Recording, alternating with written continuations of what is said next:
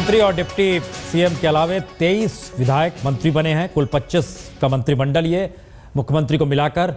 और अब से कुछ मिनट के बाद, तकरीबन एक घंटे के बाद कहें, एक घंटे ना कहें, आधे घंटे के बाद प्रेस कॉन्फ्रेंस होने वाली है, जो मुख्यमंत्री का घर है जम्मू में, वहाँ पर यह प्रेस कॉन्फ्रेंस होगी। उसमें डिप्टी सीएम की भी मौजूदगी होगी। उसमें मिनिमम कॉमन प्रोग्राम सरकार चलाने के लिए जो न्यूनतम एजेंडा है, उसको सामने लेकर आया जाएगा।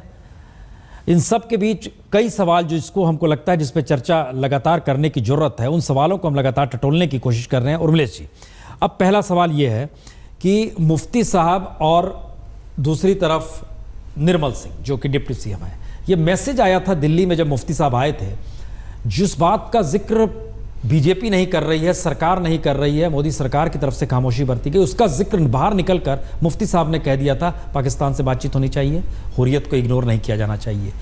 क्या ये दोनों एक गठबंधन एक दूसरे के लिए ढाल का काम भी करेगा? क्योंकि कश्मीरी पंडितों का सवाल आएगा तो मुफ्ती साहब नहीं कहेंगे। दिल्ली या बीजेपी की तरफ़ से कहा जाएगा, पाकिस्तान और उसका सवाल आएगा तो तब वहाँ से कहा जाएगा। ये एक इस रूप में है कि स्ट्रेटजिकली ये एक बेहतरीन मौका दोनों के लिए है। बहुत बढ़िया सवाल है और दरअसल कश्मीर की सियासत का भी ये सबसे बड़ा सवाल है। मुझे लगता है कि मुफ्ती मोहम्मद सईद को जो लोग जानते हैं, वो मानते हैं कि अभी जो वहाँ पर मैं ये तो नहीं कहूँगा कि वो कभी प्रो सेपरेटिस्ट थे, लेकिन सेपरेटिस्ट का उनके प्रति जो एक रवैया है, उदार रहा है हमेशा से और एक ठीक ठाक संवाद रहा है।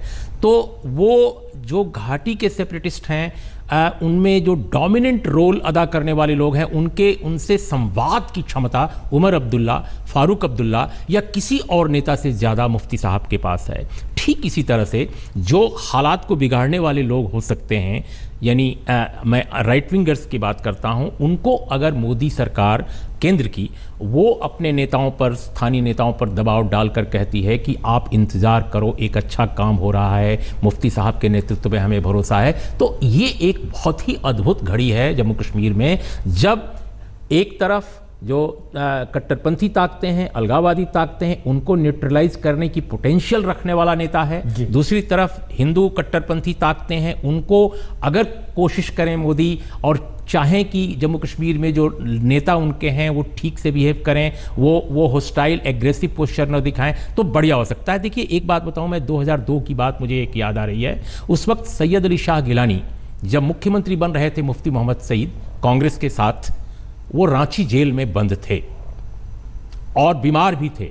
मुफ्ती मोहम्मद सईद ने सबसे बड़ा काम किया मुख्यमंत्री बनने के बाद कि चौपर हेलीकॉप्टर भेज करके बाकायदे उनको टाटा इंस्टीट्यूट में भर्ती करवाया बंबई के और फिर उनको रिहा किया गया।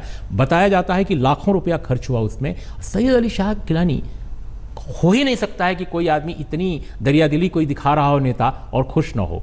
आज की तारीख में जब हम 2015 में शपथ ग्रहण समारोह देख रहे हैं, कश्मीर घाटी में कोई और स्थिति होती दूसरा कोई मुख्यमंत्री होता तो आज स्ट्राइक होती। कश्मीर में बात बात में स्ट्राइक होती है। आज कोई स्ट्राइक कश्मीर वैली में घोषित नहीं है। दुकानें खुली हैं संडे के बावजूद। लोग सड़कों पे आ जा रहे हैं। आप पता लगा लीजिए अपने करस्पॉन्डेंट से। तो कुल मिलाकर माहौल में कोई ऐसी नकारात्मकता नहीं और ये भारत के लिए बहुत अच्छी है। भारत की आवाम कश्मीर की आवाम और सबके लिए अच्छी है। बशर्ते कि नरेंद्र मोदी जी जो जिनके सामने बड़ा संकट है कि कैसे दक्षिणपंथी ताकतों को अपनी पार्टी में, जो काफ़ी एग्रेसिव भी हो सकती हैं समय समय पर उनको कैसे कंट्रोल करें कश्मीर के लिए। ओके आलोक जब इसके आगे का साल मुफ्ती साहब एक ऐसे शख्स, शेख अब्दुल्ला के दौर से जो राजनीति करते हैं। कांग्रेस की जड़ें जमवाते हैं वहाँ पर, जब खिलाफ में खड़े होते हैं। उसके बाद फिर पीडीपी बनाते हैं। इस पूरे परिस्थिति में एक ऐसा शख्स जो कि केंद्र में गृह मंत्री बनता है, मुस्लिम होकर, पहली बार देश ने देखा था।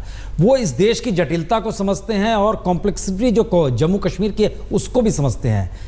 क्या मुफ्ती साहब मोदी सरकार के लिए एक बेस्ट वाहन हो सकते हैं मौजूदा वक्त में जो मुश्किल है जम्मू कश्मीर की? मोदी सरकार के लिए पूरे भारत की दृष्टि से आप देखें, जो अभी उर्मिल जी कहते हैं, मैं मानता हूँ कि मुफ्ती जो उतने अनुभवी नेता हैं और वो राष्ट्रीय स्तर पर भी उनकी भूमिका रही हम लोगों ने थोड़ा उस समय भी देखा है टाइम जब वीपी सिंह के साथ बने थे। तो ऐसा सुलझा हुआ नेता कश्मीर समस्या के लिए हम क्षमा के कहेंगे कि करण सिंह को बड़ा माना जाता रहा लेकिन करण सिंह उन समस्याओं को समाधान नहीं कर पाए न गुलाम नबी आज़ाद कर पाए कांग्रेस के नेताओं की तरह देखें। लेकिन ये एक ऐसा मौका आया है जब मुफ्ती जो एक बड़ा भारी विवाद पाकिस्तान के साथ भी है या वहाँ पर जो अतिवादी है पाकिस्तान की बात तो छोड़ दें वो एक बड़ा मुद्दा है।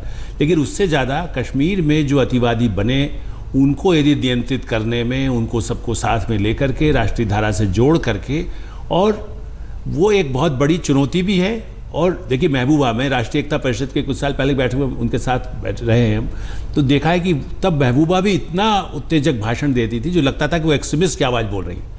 और बीच बीच में इसीलिए आरोप लगाए जाते थे कि मुफ्ती भी अलगाववाद की तरफ़ जा रहे हैं।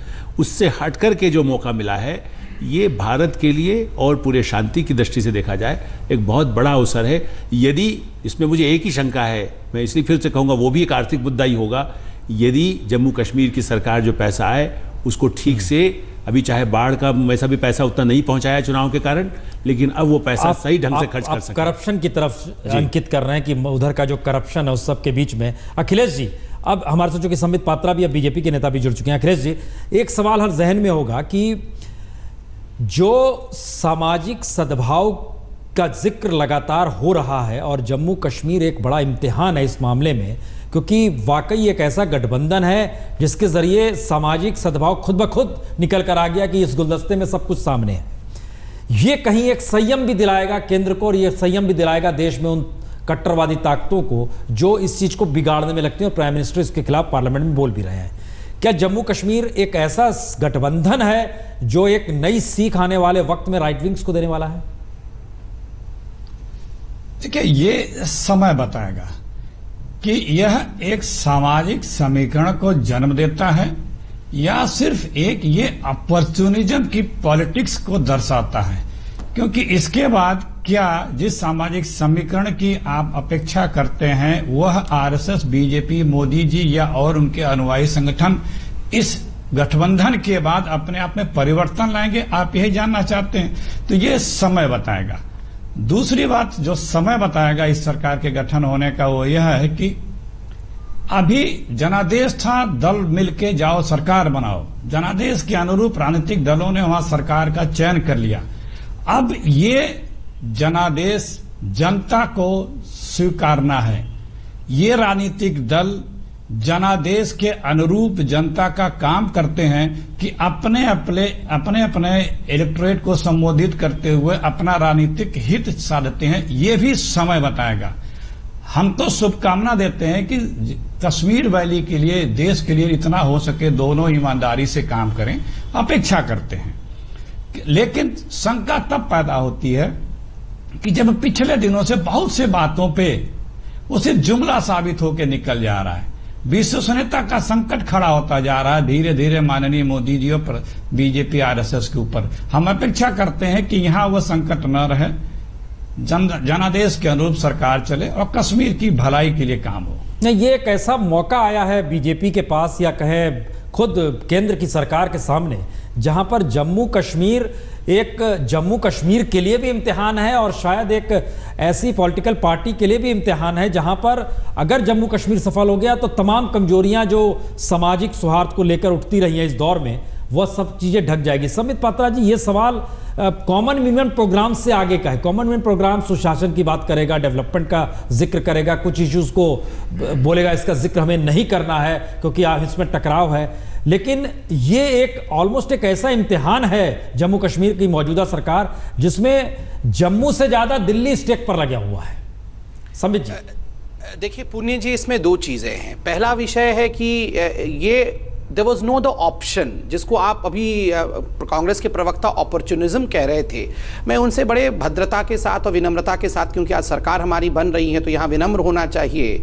मैं किसी प्रकार से रेटोरिक होना नहीं चाहूँगा। वॉज़ देयर एन ऑप्शन दो पार्टियाँ, एक को 25 सीट, एक को 28 सीट, एक वैली से और एक जम्मू से। कोई और राजनीतिक विकल्प नहीं। ऐसे में परिपक्वता दिखाते हुए दोनों पार्टी को एक मंच पे आना और जम्मू कश्मीर, जो इतने अरसे से सफ़र कर रहा था नॉन गवर्नेंस नॉन परफॉर्मेंस के कारण, उसको जो अभी फ्लड हुए हैं, उसमें विस्थापित लोग हुए हैं, उन सबके दुखों को देखते हुए तुरंत एक्शन में आ जाना चाहिए था। वो दोनों पार्टियों ने किया, कोई अदर ऑप्शन नहीं था। दूसरा महत्वपूर्ण विषय आप जो कह रहे हैं कि क्या धर्म के पटल पर और पूरे हिंदुस्तान में एक सोशल चेंज देखा जाएगा तो मुझे लगता है कभी भी भारतीय जनता पार्टी के इंटेंशन पे सवालिया निशान नहीं था। भारतीय जनता पार्टी का इंटेंशन हमेशा ही क्लियर था। चाहे जम्मू कश्मीर में आज हमने सरकार बनाई हो या पिछले दिनों में भी प्रधानमंत्री नरेंद्र मोदी जी ने बड़े स्पष्ट शब्दों में हमारे मनसा को रखा था कि सभी का साथ और सबका विकास हो। हाँ ऑपोजिशन का काम है अपोज करना उनको हर चीज़ में वही सब दिखता था ये अलग विषय है। मगर आज एक ऐतिहासिक दिन इसलिए भी है क्योंकि आपको ध्यान होगा कल जब प्रेस कॉन्फ्रेंस किया था मुफ्ती साहब ने उन्होंने कहा था वैसे तो अगर एयरपोर्ट से एयरपोर्ट जाएँ तो 20 मिनट का रास्ता है वैली और जम्मू के बीच। मगर फासले बहुत बड़े हैं। इसलिए हम्म। पहली बार ऐतिहासिक रूप से मैंडेट को भी देखते हुए फासले को पाटने का काम जिस प्रकार से ये दोनों पार्टियाँ कर रही हैं, मुझे लगता है हमें शुभकामनाएँ भी देना चाहिए और एक इतिहास बन रहा है, इस नज़रिए से भी पूरे विषय को देखना चाहिए। जी यकीन हम इस पे आते हैं और आपने अच्छा किया, वो बीस मिनट का ज़िक्र कर दिया। उसके बाद मुफ्ती साहब ने कहा था कि लेकिन सड़क के रास्ते आइए तो छः से आठ घंटे लग जाते हैं। यानी एक दूरियाँ भी हैं और निकटता भी है। उसी को कश्मीर में सरकार बन गई है और हम डिस्कशन के आखिरी हिस्से में बहुत छोटा छोटा आप कॉमेंट चाहेंगे। क्या ये आलोक जी क्या ये मैसेज या कहें विदेश नीति का भी हिस्सा है जम्मू कश्मीर में बीजेपी का मुफ्ती के साथ सरकार बनाना, खासतौर से पाकिस्तान के मद्देनजर?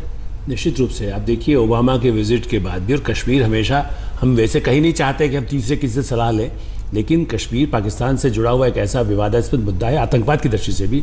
इसलिए चीन या अमेरिका के साथ भी जब बात होती है तो कश्मीर एक मुद्दा रहता है कि वहाँ आतंकवाद रोका जाए, पाकिस्तान को रोका जाए। इसी दृष्टि से ये जो नई सरकार बन रही है केंद्र में जो कहें कुछ मामलों में अमेरिका को भी सूट करने वाली एक ऐसी सरकार जो कहीं उनके साथी हो सकती है। और चीन जो पाकिस्तान को भी अब उसके आतंकवाद को समझने लगा है वो चाहता है कि एक ऐसी भूमिका हो जिससे कि इस पूरे क्षेत्र में आतंकवाद वो चीन तक न जाए इस दृष्टि से भी हमारी विदेश नीति इससे प्रभावित होगी। उर्मेश जी क्या ये माना जाए कि अब पाकिस्तान दो पाकिस्तान को लेकर दो बोलियाँ नहीं निकलेंगी? एक दिल्ली और कश्मीर की बोली अक्सर दूसरी हो जाया करती थी। आ, नहीं देखिए हम आशा तो यही करेंगे कि केंद्र भी संजीदा रहेगा क्योंकि कश्मीर के मुतलिक भारत पाकिस्तान रिश्तों का होना भी बहुत ज़रूरी है। लेकिन इसके अलावा कश्मीर के अलावा भी बहुत मुद्दे हैं भारत पाकिस्तान के रिश्तों में। लेकिन मुफ्ती साहब के वहाँ पर चीफ मिनिस्टर होने से एक ज़रूर बौद्धिक मानसिक राजनीतिक दबाव रहेगा केंद्र पर कि ज़्यादा संजीदा होकर के भारत पाकिस्तान रिश्तों पर सोचा और समझा जाए। और अगर पुनर्विचार इस तरह का आता है केंद्र के मानस पर तो ये बहुत अच्छी बात है। कश्मीर के लिए भी पूरे देश की अखिलेश जी क्या ये मैसेज एक ऐतिहासिक मोड़ पर खड़ा है, आपको ऐसा लगता है? निश्चित रूप से, कम से कम, अब पाकिस्तान से इस बात पर वार्ता नहीं टूटेगी कि पाकिस्तान के लोग, पाकिस्तान के हुक्मरान सेपरेटिस्टों से बात कर लिए क्योंकि मंत्रिपरिषद में जब खुद उन्हें शामिल कर लिया है माननीय मोदी जी तो इतनी इतनी बातों पे पाकिस्तान और भारत के वार्तालाप नहीं टूटेंगे। जब वार्तालाप नहीं टूटेंगे तो वो देश के हित में ही होगा। जी समित पात्रा जी आखिरी कमेंट चाहेंगे क्या बीजेपी की समूची राजनीति का कश्मीर में सत्ता में आना शामिल होना एक बहुत बड़ा विस्तार है?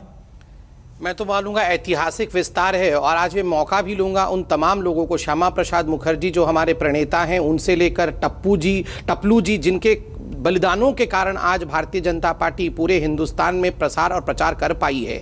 और दूसरा देखिए कांग्रेस के प्रवक्ता अभी एक बहुत महत्वपूर्ण विषय कह रहे थे वो कह रहे थे कि सेपरेटिस्ट से अब बात हो पाएगी। मैं अखिलेश जी से यही कहना चाहता हूँ आप देखिए जो सेपरेटिस्ट थे वो आके डेमोक्रेसी में विश्वास करने लगे हैं। ये परिवर्तन करने की क्षमता होती है आप वो नहीं कर पाए थे हमने किया है। और ऐतिहासिक मोड़ पे संबित जी डिस्कशन को खत्म करते हैं। हमको लगता है एक ऐसा मौका है जिसमें जम्मू कश्मीर को लेकर समूची दुनिया की नज़र है और शायद एक ऐसे मुहाने पर जम्मू कश्मीर खड़ा है जहाँ पहली बार ये लग रहा है कि किसी भी रूप में वाकई एक ऐसे फूलों का गुलदस्ता निकल कर आया है मंत्रिमंडल के ज़रिए, जिसमें अब सिर्फ़ और सिर्फ़ एक ही बात बोली जाएगी और वो हिंदुस्तान शब्द होगा। एक छोटा सा ब्रेक।